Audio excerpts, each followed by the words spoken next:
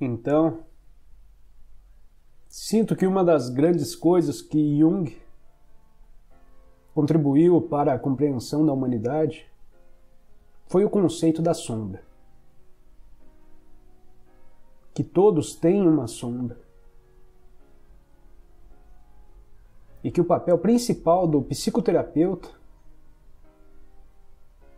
é fazer o que ele chama de integrar o maligno colocar o diabo em nós em sua função correta. Porque, como você vê, é sempre o diabo que não é o reconhecido.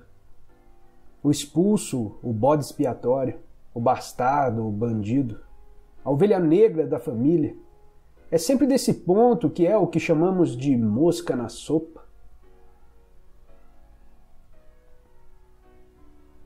Que a geração aparece. Em outras palavras, da mesma maneira que em, um drama. Para ter uma peça é necessário trazer o vilão. É preciso introduzir um certo elemento de problema. Então, no grande esquema da vida, deve haver a sombra.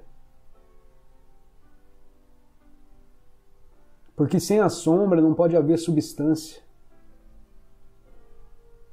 Então é por isso que há uma associação muito estranha entre ciúmes e todas as coisas sujas e o sagrado.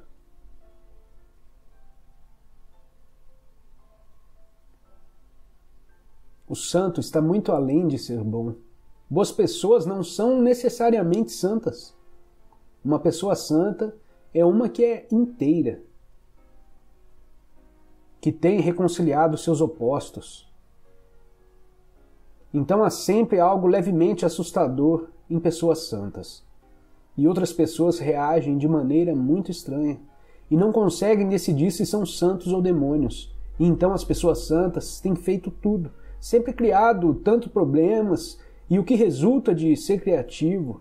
Pegue Jesus, por exemplo. O problema que Jesus causou é absolutamente incalculável. Pense as cruzadas, na Inquisição. Oh, quem sabe o que se criou em nome de Jesus? Há muitos marcantes. Freud era um grande encrenqueiro, tanto quanto era um grande curador. Tudo acontece junto. Então a pessoa santa é assustadora, porque é como os terremotos. Ou melhor ainda, é como o oceano. Percebe? O oceano, um belo dia ensolarado, e você diz: Oh, não é lindo? E você entra e relaxa e flutua. Mas quando a tempestade vem, aquela coisa fica louca, fica aterrorizante. Então há em nós o oceano, percebe?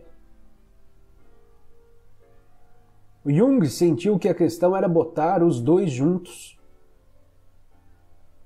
E por um tipo de fantástica honestidade, para penetrar em nossas profundas motivações,